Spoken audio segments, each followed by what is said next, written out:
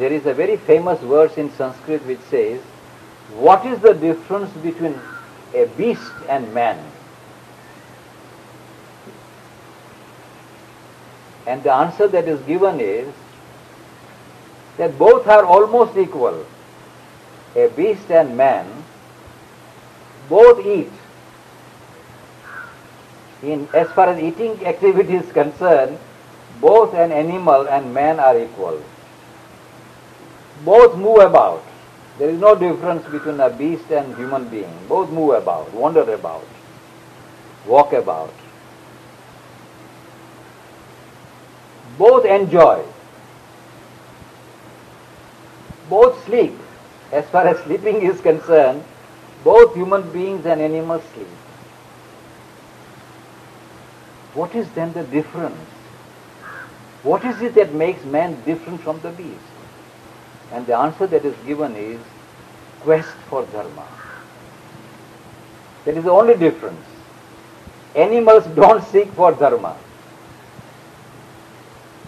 Human beings seek dharma.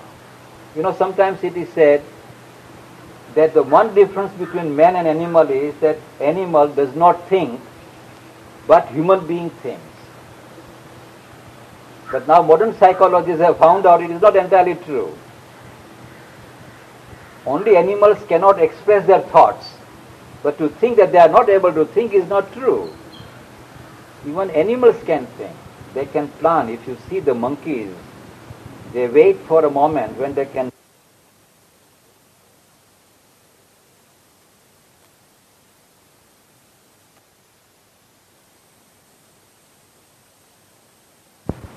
animals do not have the quest for dharma, human beings have the quest for dharma. And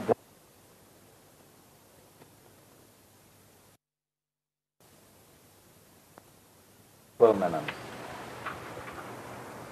Now, I have only told you the first part of what I want to tell you. The rest of the part would take a long time, but I'll go rapidly over two or three important points. One day again I will come to you to speak on this very great subject. What I wanted to do in this talk was just to give you the basic idea of what is dharma. And now if I want to tell you in very short substance the difference between, between animal and man is this. Even in our language you will find out there is one word which human beings use and that is what makes human beings quite distinctive. That word is ought. All of you know English language. In English language there is a word called ought. You know the meaning of ought. I ought to do, you ought to do, you must do, you are obliged to do. You know this meaning, isn't it? Ought. Now, if you examine this question, from where this word ought comes, the easiest word to find in this world is the word is because is is all that is here already present before you. So normally human beings can think of what exists, what is. But human beings are such entities, something is in human beings which creates in the human being the concept, the idea of art. It's a very short story written by one of the Englishmen. A very charitable woman who has no children of her own finds that one girl, small girl of about 10 years, 11 years, is in a street unlooked, without being looked after, almost sick, destitute. And she feels a great compassion for her. And she brings that child into her house.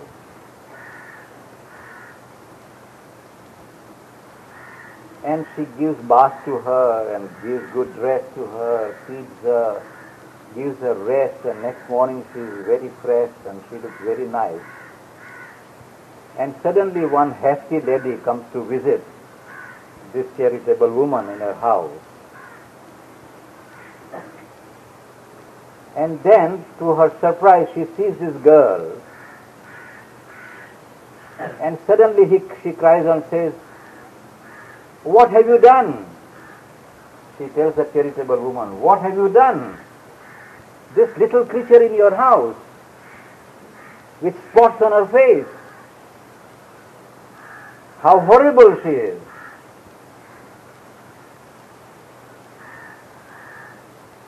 These are the remarks which go straight into the heart of this girl. And then this girl, she is very innocent, she is so spontaneous. I'm only trying to show you how spontaneously it occurs to her. She says to that lady, if I were to tell you these very words, how horrible you are, how would you feel? That is the question she asked. How would you feel?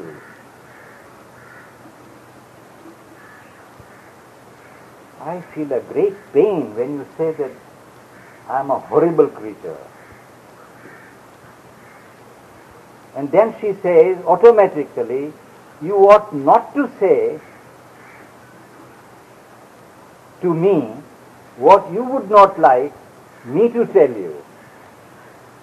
You ought not, you now understand the word ought comes automatically in the consciousness. Human beings are the only creatures who, when something happens, there is something that touches very painfully and says this ought not to be.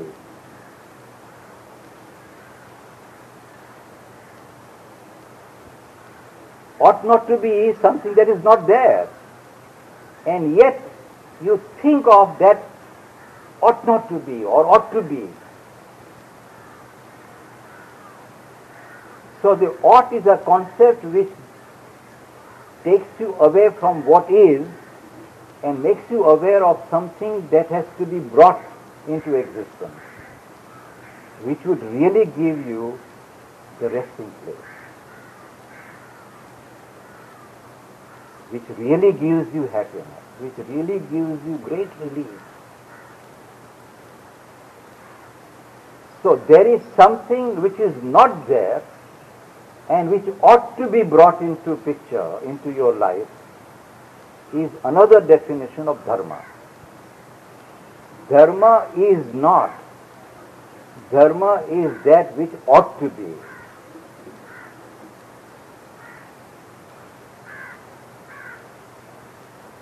That is why human beings are told that you have to be different from what you are. Pursuit of dharma means what? You become different from what you are. You become what you ought to become. This pursuit of what you ought to become is a movement of dharma. And now the final point for today.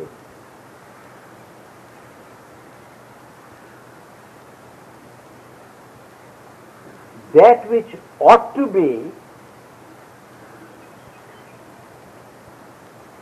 must somewhere exist. There is nothing which can come into existence as if from nothing. even that which ought to be must be existing somewhere. If it doesn't exist here, it must be existing somewhere. So dharma is that which exists somewhere but which does not exist here. That is the third definition of, of dharma. Dharma is that which exists somewhere but which does not exist but which needs to be brought here, which needs to be brought down. In the Veda there is a word called Rita. This is one of the words which you will come across in your adult life very often. So I tell you this word, it is Rita, R-I-T-A. It is a Sanskrit word, Rita. This was the discovery of the Vedic rishis, Vedic seers. They discovered that there is something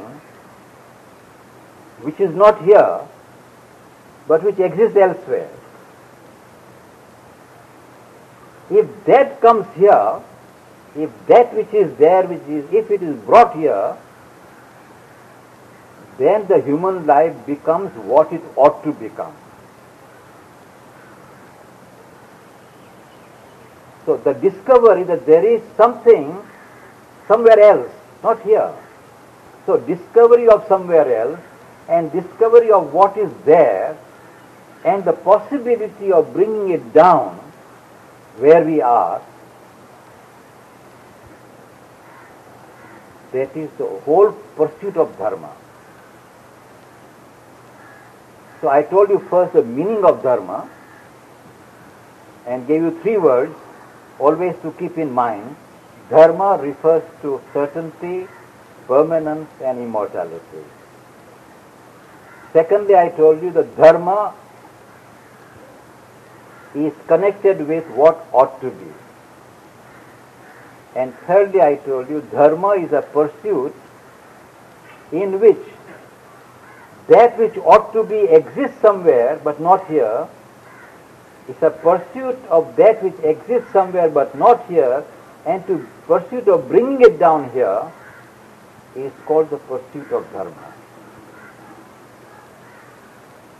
Rita exists somewhere. If it is brought down, our life becomes, our life is an ordinary life, is a mortal life, life of suffering.